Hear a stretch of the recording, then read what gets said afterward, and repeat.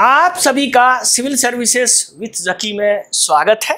और जैसा कि आप जानते हैं कि प्रमुख भौगोलिक अवधारणा श्रृंखला हमारा चल रहा है और ये चलेगा, क्योंकि इसमें हमने ये कोशिश की है कि आपके कोई भी कॉन्सेप्ट भूगोल से संबंधित अगर होगा तो उसको हम क्लियर करेंगे।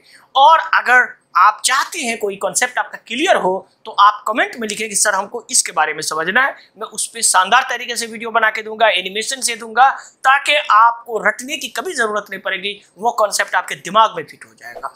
तो चलिए, हम देखते हैं कि आज का जो हमारा विषय है, पृथ्वी के चार मंडल क्या है तो उस पर चर्चा करते हैं।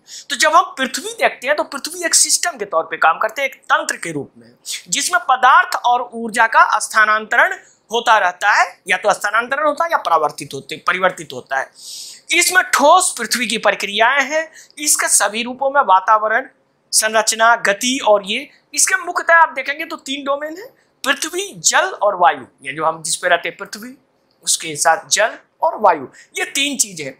ये हमारे जीवन को प्रभावित करते हैं। इसी तरह की प्रणालियाँ जो है इस तरह की प्रणालियाँ, ये गतिशील होती है, ये हमेशा एक सा नहीं रहता, ये हमेशा चेंज हो जाता है, एक साइक्लिक प्रक्रिया चलती रहती है। तो इन परिस्थितियों में किसी भी बदलाव इस तंत्र पे महत्वपूर्ण प्रभाव पड़ता है, यानी कोई भी बदलाव होगा, किसी भी बदलाव का प्रभाव संपूर्ण तंत्र पे पड़ेगा। चाहे वो परिवर्तन तंत्र के भीतर हो या आंतरिक रूप से उत्पन्न होते हो। तो इसका मतलब है कि ये प्रभावित करेगा।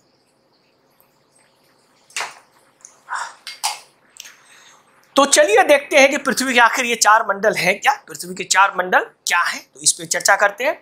तो पृथ्वी में चार अतिव्यापी क्षेत्र है। यानी एक दूसरे से ओवरलैप करता हुआ अतिव्यापी क्षेत्र है। इसमें वायुमंडल जीव मंडल जल मंडल और स्थल मंडल है।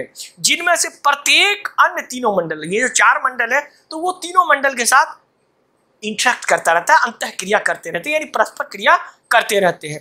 तो वायुमंडल में ज़्यादातर हम लोग जानते हैं कि गैस होता है लेकिन इसमें तरल पदार्थ भी हो सकते हैं वाटर ड्रॉपलेट्स के रूप में, यानी पानी के बूंदों के रूप में, और ठोस, जैसे बर्फ़, धूल का कौन, जिस, जिसको हम लोग एरोसोल्स कहते हैं, वो भी सम्मिलित हो सकते हैं। तो जलमंडल पृथ्वी के जल का प्रतिनिधित्व करता है।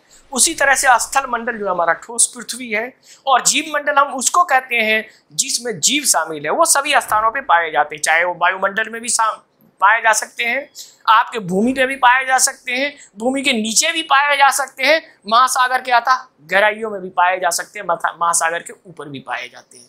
तो ये सारा एरिया बायोस्फीयर हो जाता है। तो चलिए एक एक करके एक एक स्फीयर पे हम लोग चर्चा करेंगे आज। तो चलिए, ये देख रहे हैं तो ये देखिए चारों स्फीयर है, ऊपर में एटमोस्फेयर, यानी कि वायुमंडल है, उसके बाद आप देखेंगे तो ये बायोस्फीयर है, और अगर उसके नीचे आप जाएँगे तो आपको नज़र आएगा हाइड्रोस्फीयर और सबसे नीचे आपका लिथोस्फीयर। तो चलिए इसको एक एक करके देखते हैं। तो सबसे पहले ये हमारा एटमॉस्फेयर है। तो एटमॉस्फेयर पे चर्चा करते हैं, वायुमंडल पे चर्चा करते हैं। तो वायुमंडल में ज़्यादातर नाइट्रोजन और ऑक्सीजन है। यानी हमारी पृथ्वी के जो दो प्रमुख गैस है, वो नाइट्रोजन और ऑक्सीजन है। जो पृथ्वी की सतह से पृथ्वी की सतह यही चीज़ से घिरा हुआ है, आप देखेंगे। और ये जो घिरा हुआ है, इसकी जो डेंसिटी है, इसका जो घनत्व है, वो 100 किलोमीटर की दूरी तक इसकी सघनता है, उसके बाद ये कम हो जाता है। और आप देखेंगे तो बाहरी अंतरिक्ष का अनुमानित किराना है, यानी अनुमान ये किया जाता है, ये 100 किलोमीटर से आप जब ऊपर जाएँगे तो ये क्या होगा? आपका आउटर स्पेस हो जाएगा, बाहरी अंतरिक्ष हो जाएगा। तो अब आप देखेंगे कि वायुमंडल में क्या है? वायुमंडल में देखेंगे कि बादल है, वर्षा है, धूल है, ज्वालामुखी के राख इत्यादि शामिल होते हैं।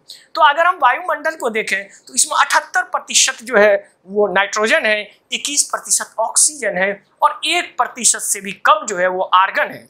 और बहुत ही कम मात्रा में कार्बन डाइऑक्साइड और अन्य गैस हैं। इसमें जलवाष्प की एक परिवर्तनशील मात्रा भी होती है, जो औसतन एक प्रतिशत है या एक प्रतिशत से कम है। एवरेज आप देखेंगे तो हमारे पृथ्वी पे जो जल वाष्प की मात्रा है या जिसको वाटर वेपर कहते हैं, वो तकरीबन ज़ीरो से चार तक हो सकता है। एक भी हो सकता है, एक से दो औसत होता है, कभी ज़ीरो भी हो सकता है, कहीं भी चार भी हो सकता है।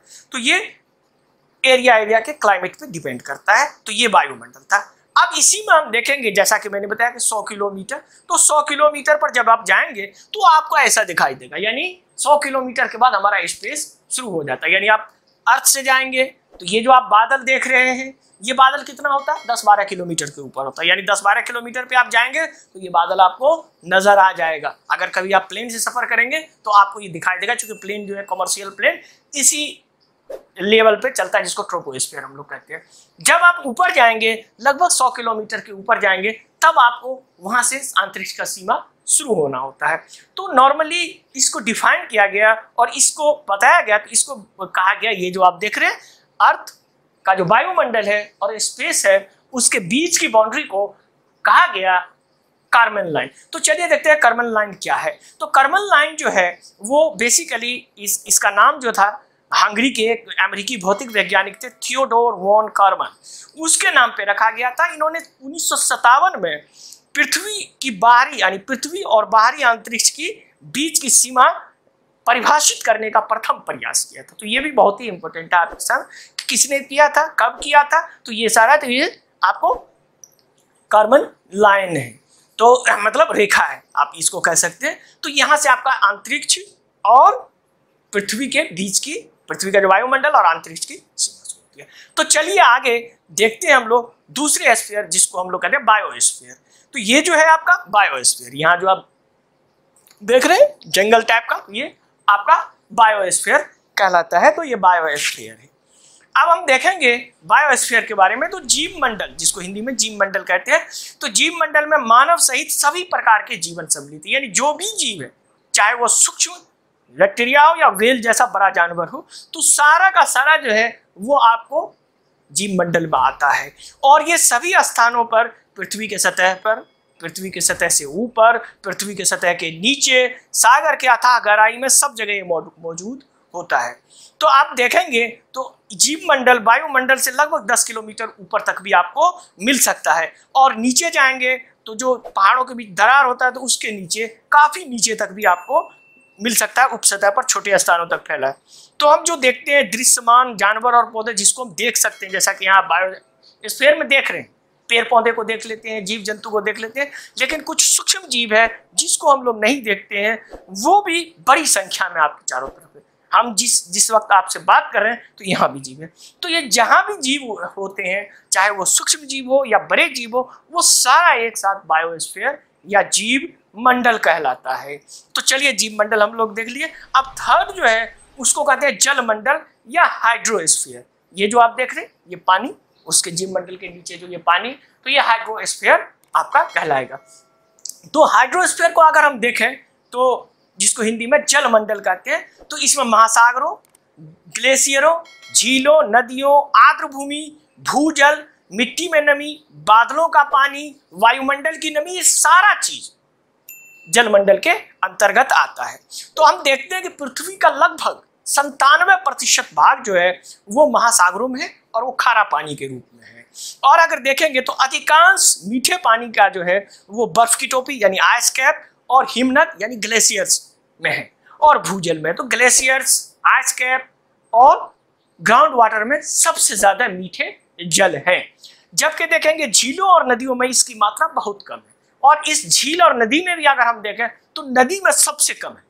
वैसे देखने में तो आपको लगेगा कि नदी इतनी बड़ी है, गंगा इतना बड़ा है, इसमें तो पानी बहुत सारे हैं तो फिर सर ये कैसे कम होगा? लेकिन जब आप उसका कंपेरिजन करेंगे, झील से करेंगे ग्लेशियर से करेंगे तो आपको लगेगा कि बिल्कुल सही है। ये सबसे कम मात्रा मीठे पानी का जो है, वो आपको नदियों में होता है, चाहे वो अमेजन रिवर ही क्यों ना हो। तो ये हमेशा याद रखिएगा। अगर कभी परीक्षा में पूछे तो ये हमेशा याद रखिएगा। तो चलिए, अब जल मंडल के बाद हम चलते हैं लिथोस्फीयर या स्थल मंडल जिसको बोलते हैं। ये वाला, सबसे नीचे वाला, ये स्थल मंडल जिसको लिथोस्फीयर कहा जाता है।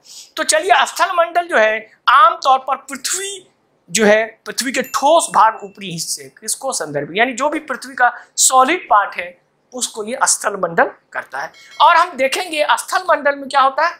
भूपरपटी और ऊपरी मेंटल का ऊपरी भाग, यानी सबसे ऊपर का मेंटल, यानी ऊपरी मेंटल का ऊपर भाग, यानी upper most mantle and crust यानी भूपरपटी और ऊपरी मेंटल का ऊपरी भाग, ये दोनों मिलके आपको लिथोस्फीयर बनाता है, जिसको स्थल मंडल कहते हैं हम लोग। तो हम देखेंगे जल, वायु और जीवन का विस्तार स्थल मंडल में ही होता है।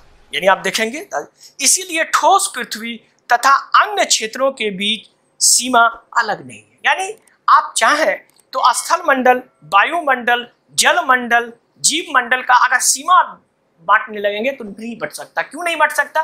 क्योंकि जीव मंडल आपका वायुमंडल में भी मौजूद है जीव मंडल आपका स्थल मंडल में भी मौजूद है जीव मंडल आपका जल मंडल में भी मौजूद है। तो हर मंडल एक दूसरे से इंटरेक्ट करता है। अब जल मंडल को वायुमंडल से नहीं कर सकते, क्योंकि जो वायुमंडल है, उसमें भी जल मौजूद है, उसमें भी जल मंडल है। उसी तरह से आप देखेंगे तो डिफरेंट डिफरेंट गैस आपको लिथोस्फेयर के पास मिलेगा। वोल्केनिक इरप्शन से बहुत सारे गैस होते हैं, उससे वायुमंडल तो ये चारों मंडल, यानी कि जो चारों स्फेयर जो है लिथोस्फेयर हाइड्रोस्फेयर बायोस्फेयर और एटमोस्फेयर यानी ये चारों एक दूसरे से किस तरह से इंटरेक्ट करते हैं, किस तरह से परस्पर क्रिया करते हैं। तो उसके लिए हमारा अगला वीडियो देखिएगा, जो नेक्स्ट वीक हम देंगे, कि ये चारों मंडल किस तरह से परस्पर क्रिया करता है। उसके बाद चूँकि ये हम संक्षिप्त में चारों मंडल का वर्णन किए हैं, लेकिन अगर आपको और इसके विषय में विस्तृत जानना है तो आप हमारे चैनल को सब्सक्राइब कीजिए, इसको दूसरों तक फैलाइए क्योंकि इसके बाद हम वायुमंडल पे स्पेसिफिक वीडियो लाने वाले हैं, और ये हमारा वायुमंडल पे वीडियो आएगा कि वायुमंडल आखिर है क्या, उसमें हम डिटेल से आपको वायुमंडल के बारे में बताएँगे। तो इसको ज़्यादा से ज़्यादा शेयर कीजिए और अपने दोस्तों को बताइए और अगर आप शामिल होना चाहते हैं हमारे क्लास में तो हमारे कॉन्टैक्ट नंबर है, उस पर कॉन्टैक्ट कर सकते हैं।